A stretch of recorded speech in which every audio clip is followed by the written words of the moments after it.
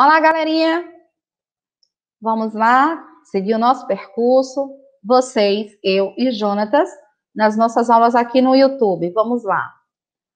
Aula 37, 7 de maio, sexta-feira. Quem não gosta da sexta-feira? Vocês já pensam logo no descanso. A área é Ciências Humanas e o tema, olha o desenho que a Pro colocou. Hum, estações do ano.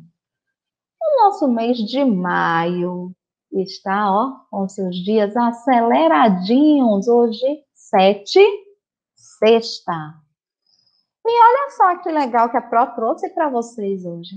Que, Pro, o que é isso? Isso, meus amores, isso em azul, bem bonito e redondinho, é o planeta Terra, o nosso planeta, aquele que nós moramos. E isso aqui, ó, bem amarelo, bem bonito, é o Sol.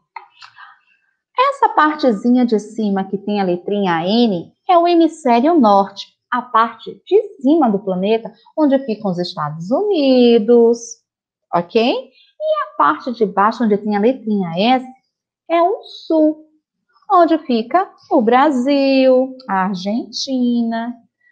E é isso aí, esse movimentozinho aí é que nós vamos estudar hoje. Hoje nós vamos conhecer como surgem dias, noites, estações do ano. Vamos ver?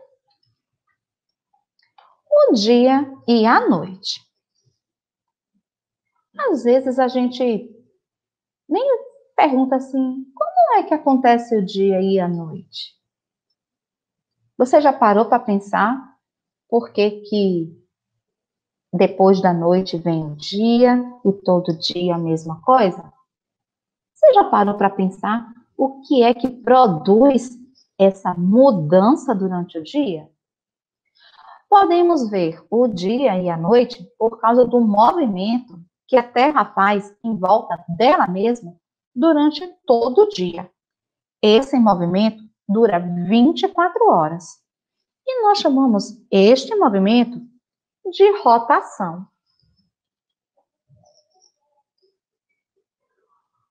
O nosso dia, que tem 24 horas, possui três períodos bem definidos. Eu vou ler o poema de Isabel Cristina S. Soares. Dia e noite. O dia acordou, o pássaro cantou, eu abro a janela, o sol já raiou. Vem a tarde devagar, o bolo já assou lancho e posso brincar. A noite se abeirou. Tem estrelas no céu, a lua se iluminou. É hora de dormir, o sono já chegou. Os períodos do dia são três: manhã, tarde e noite. O dia começa com o sol bem fraquinho e ele vai aumentando a sua claridade, o seu calor. Meio-dia, o sol tá bem assim em cima da gente, já começa a ficar quente. E quando vai anoitecendo, a luz do sol para a gente vai diminuindo, vai esfriando, até que seja noite completa. E eu trouxe esse vídeo rapidinho para a gente poder ver o movimento que a Terra faz em volta dela mesma. Preste atenção no movimento que a Terra está executando. Bem brilhante ao fundo está o Sol. E pequenininho do lado de cá é a Lua. Olha só. Viram? o movimento da Terra acontece durante todo o dia e nós nem percebemos que a Terra está girando. Eu trouxe essa bola aqui, ó, gente. A Pro passou o palito para mostrar para vocês. Faz de conta que essa bola aqui é o nosso planeta, tá bom? Então, o que que acontece? O planeta Terra, ele gira. Mas ele não gira assim em pezinho, não, tá bom? Ele vai girar assim. Tem uma lâmpada bem de frente para Pro e a claridade está batendo desse lado. Como se a lâmpada fosse o Sol. Então, o lado que está recebendo a luz é o dia e o lado que está com sombra é a noite. E a Terra, ela vai girando assim. Durante todo o dia. Quando a Terra completa essa volta todinha, é um dia. De meia-noite a meia-noite, a Terra dá a sua volta de bailarina vocês já viram uma bailarina se apresentando quando ela faz aquela pirueta numa perninha só? A mesma coisa é um movimento de rotação. A Terra gira paradinha no mesmo lugar. Agora, aqui onde nós estamos, Feira de Santana, Bahia, Brasil, na América do Sul, nós estamos recebendo a luz do Sol. Desse lado do planeta é dia. Lá do outro lado do planeta, lá no Japão, agora é noite. Entendeu? Do lado que a luz está batendo, a luz do sol bate, é dia. Esse lado de cá é noite. Nós precisamos da luz do sol para poder vivenciarmos os dias e as noites. E a Terra gira no seu movimento e nos dá esses períodos: manhã, tarde e noite. Que é justamente o do vídeo que a Pro trouxe para vocês. Agora, nós vemos completo. O Sol, Proélida, tem quatro planetas Terra? Não, meus amores. Aí é o nosso planeta Terra, fazendo seu movimento de bailarina em volta do Sol. Vou mostrar para vocês. Faz de conta, porque a imaginação de vocês é maravilhosa, que o álcool gel da Pro é o Sol. Fica paradinho assim, certo? E a Terra, além de girando que nem uma bailarina em volta de si, a Terra vai fazer esse movimento em volta do Sol.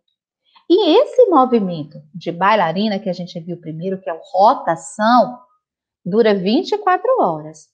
Mas quando a Terra faz o movimento dela girando em torno do Sol, leva um ano inteirinho o nosso planeta para dar uma volta na órbita do Sol. Leva um ano, 365 dias e algumas horinhas. E por causa desse movimento que dura um ano, nós temos as estações do ano. Um movimento curto, de 24 horas, nos dá os dias e as noites. E o movimento mais longo que a Terra faz, que é girar em volta do Sol, nos proporciona quatro estações do ano e cada uma dura, ó, três meses. Nós temos a primavera, o verão, o outono e o inverno. A primavera começa dia 21 de setembro. O verão começa dia 21 de dezembro. O outono, 21 de março. E o inverno, 21 de junho. Qual a data que nós estamos hoje? 7 de maio. Ou seja, nós estamos nesse período das estações, do outono indo para o inverno. Entendeu? O verão. O verão, nesse movimento da Terra girar em torno do Sol, o verão começa no dia 21 de dezembro e termina no dia 19 de março. É a estação mais quente do ano. as temperaturas são altas, os dias são mais longos, as noites curtinhas. E por causa do calor, a água evapora e por isso chove mais. Você sabe o que é evaporar? É quando aquela poça de água e de repente a poça secou. Para onde foi a água? O calor fez a água virar um vaporzinho e ele foi formar as nuvens lá no céu. Isso é a evaporação. É muito importante a gente usar no período do verão protetor solar, tomar bastante líquido e usar roupas adequadas.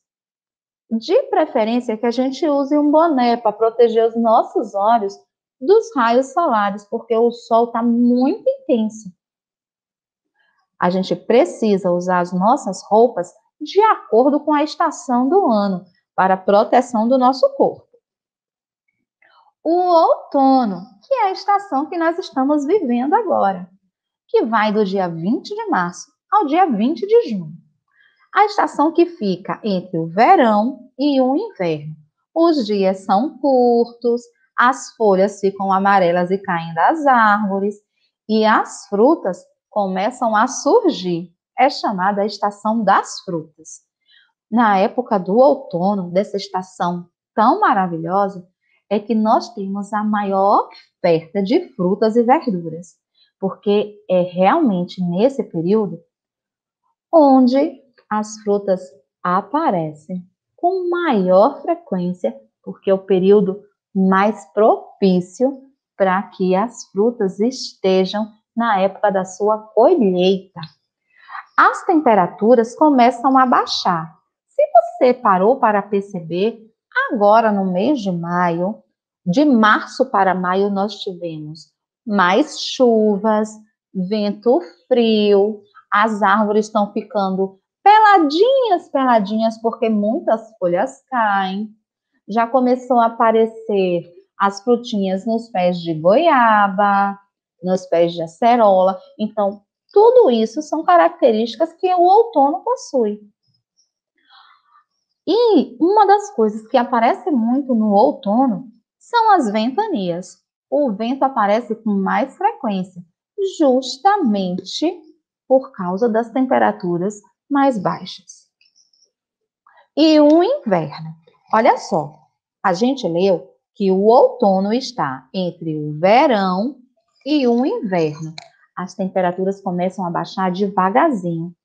Porque qual é a principal característica do inverno? Não é o frio? Isso. E o outono, que também é chamada de meia estação, prepara a nossa pele, o nosso corpo e a vegetação e os animais para receberem a estação de maior frio e maior chuva, que é o inverno. Então, como o Brasil é muito grande, existem regiões, existem estados lá na região do sul que chega a nevar. De tão frio que é, tem neve. Aqui na Bahia a gente não vai ver neve, não. Aqui a gente vai ver chuva. Mas lá no sul, no Rio Grande do Sul, Santa Catarina, no Paraná, bem lá no finalzinho do estado de São Paulo e de Minas Gerais, tem um período da geada, que a água congela dentro dos canos, de tão frio que fica. Então, os dias são curtos e as noites são mais longas. O clima é frio e seco. Por isso que nós, nesse período, ficamos mais gripados, as crianças ficam com falta de ar, aparece a renite. Por quê? Porque a umidade do ar tá pouca, tá seca. Então, a gente sente problemas respiratórios no período do inverno. E também a gente precisa ficar mais agasalhadozinho. A gente precisa de uma roupa que seja boa para o inverno. Uma roupinha mais grossa, de manga comprida, entendeu? Para a gente se proteger. Do mesmo jeito que no verão a gente pode usar camiseta, short, sandália, boné, no período do inverno a gente vai precisar de roupas adequadas para esse período. A primavera. Quem não gosta da primavera?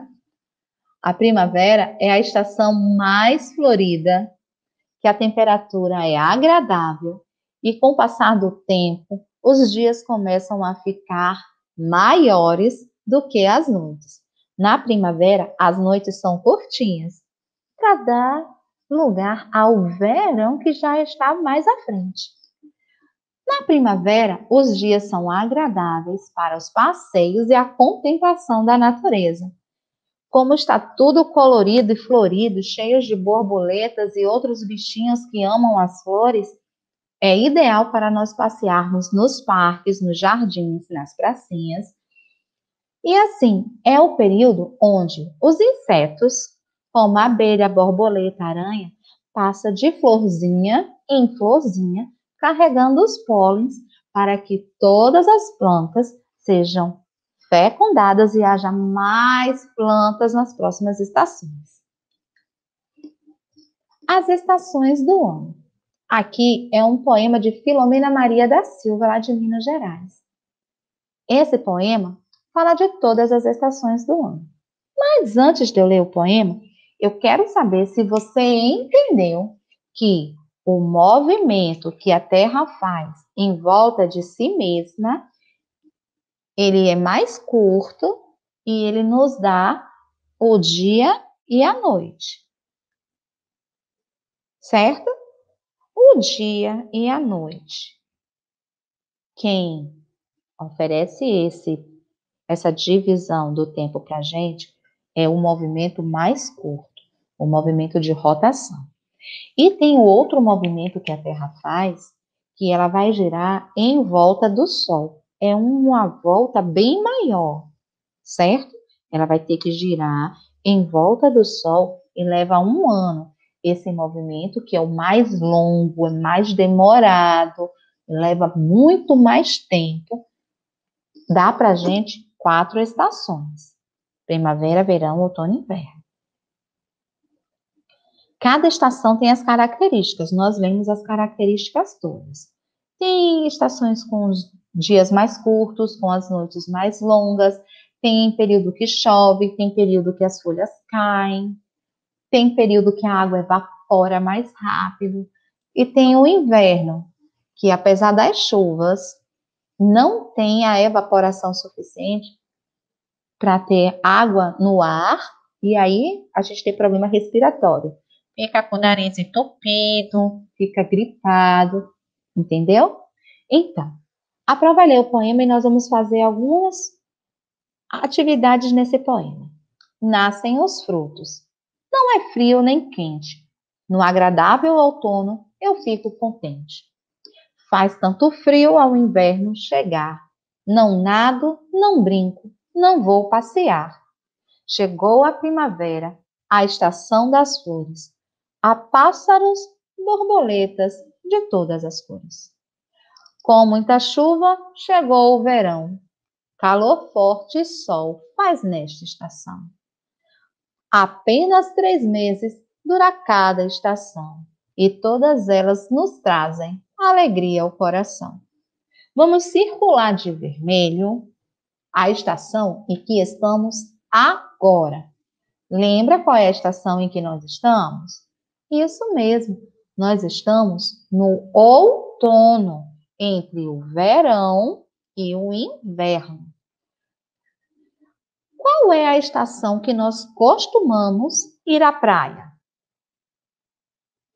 Isso, o verão. Nós vamos fazer um retângulo azul no verão.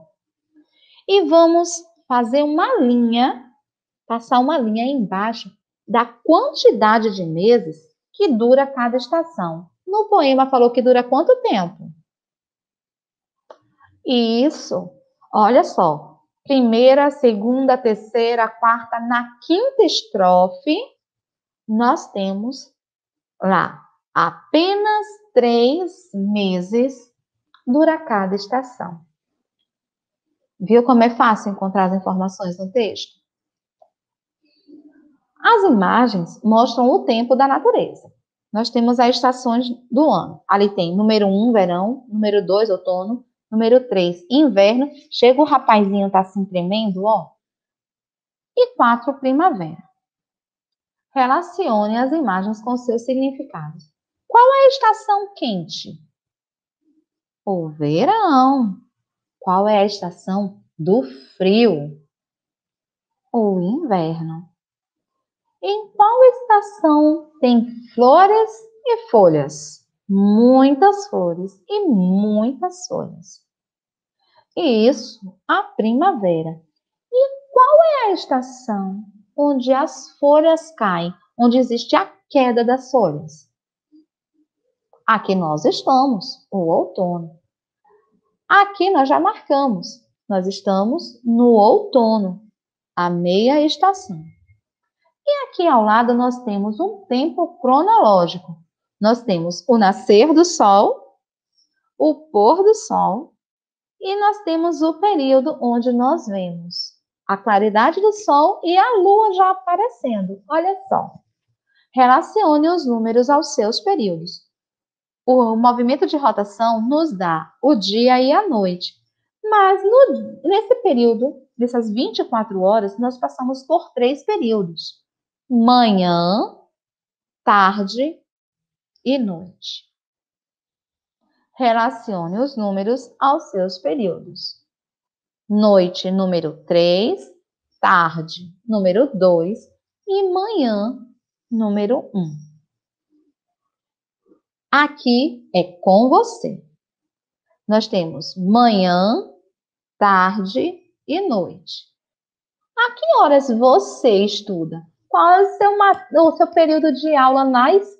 Em que turno você foi matriculado? À noite eu sei que não foi, porque criança não estuda à noite. Você estuda pela manhã ou pela tarde? Qual é o período do dia em que você frequenta a escola? No momento não estamos frequentando a escola, mas você está matriculado numa turma que pertence ou ao turno da manhã ou ao turno da tarde. E é essa opção que você vai dizer aí para a Pro, tá bem? Olha que imagem bonita agora. Inverno, primavera, verão e outono. E embaixo de cada uma delas está o dia que começa e o dia que termina. Núbia nasceu no mês de fevereiro qual estação Núbia nasceu? Vamos olhar a data? O inverno começa em junho, termina em setembro. O, a primavera começa em setembro e termina em dezembro. O verão começa em dezembro e termina em março. E o outono começa em março e termina em junho. Núbia nasceu em fevereiro. Vamos recordar os meses? Janeiro, fevereiro e março. Olha só! O mês de fevereiro está um pouquinho antes do mês de março. Então, em qual estação do ano Núbia nasceu? Isso mesmo, fevereiro está na estação verão. E Paulinho, Paulinho nasceu no dia de Natal. Você sabe qual é a data que nós comemoramos o Natal? Isso, dia 24 e 25 de dezembro. Dia 24 é a noite de Natal. E o dia 25 é o feriado do Natal.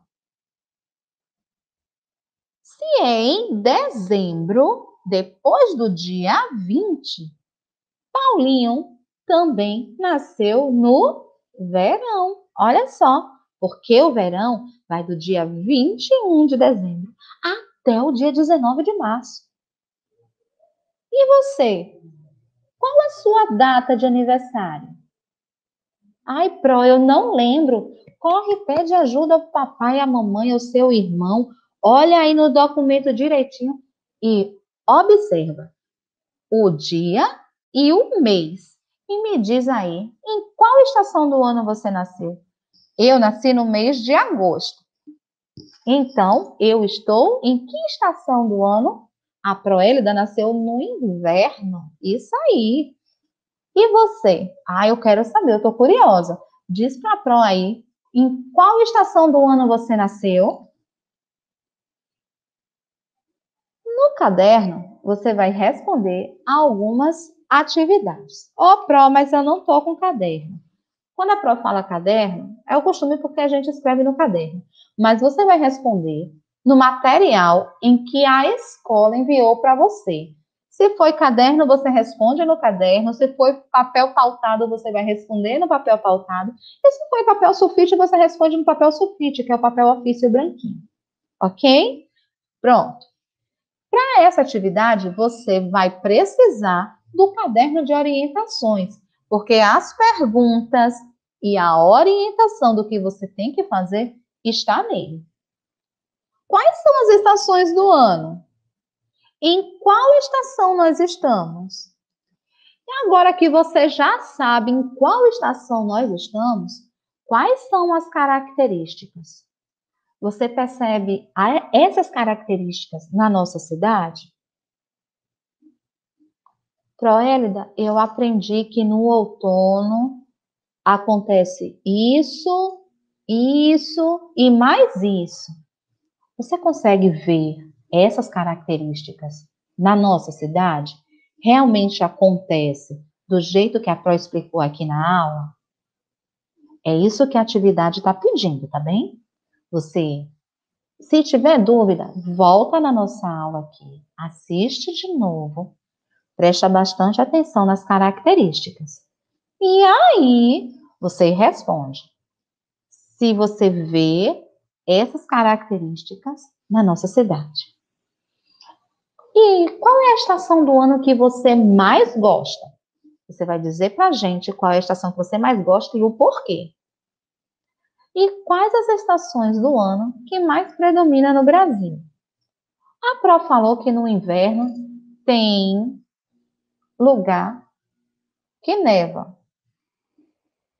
Na Bahia tem neve? Hum. Então, predominar é aquela que aparece mais, com mais força. O Brasil é um país tropical. Está num lugar, como a Prof falou no início da aula, no sul. Né? Então, no país Brasil, o nosso país, predomina o clima frio, onde tem neve, o período das chuvas, o período de secas e de sol. Como é que fica o clima, as estações? O que, que as estações do ano no Brasil nos mostram? Como nós vemos essas estações? É isso que a Pro está querendo saber. E depois, atividade complementar você vai fazer um cartaz com desenhos ou as imagens que representem as quatro estações. Você pode fazer numa cartolina, no papel ofício, no material que a escola enviou para você, no material que você tiver em casa. Só que você vai dividir o papel em quatro pedaços. Não vai cortar não, tá bom? Vai fazer assim. Vai pegar o papel, deixa eu pegar um papel aqui para você ver. Aqui a Pro tá com papel ofício, tá vendo? Então, você vai dividir ele em quatro, vai ficar quatro quadrados. E aí, você vai desenhar ou recortar e colar imagens das quatro estações. E você vai colocar o nome delas. Se você fez a da primavera, coloca o nome primavera. Fez o do inverno, coloca o nome inverno. Cada estação com o seu nome corretinho, bem bonito, bem lindo, ó. E manda foto para o seu professor, para a sua professora, quando terminar, ok?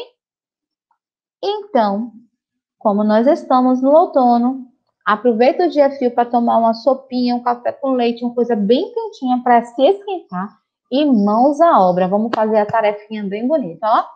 Um beijo para você e até a próxima aula.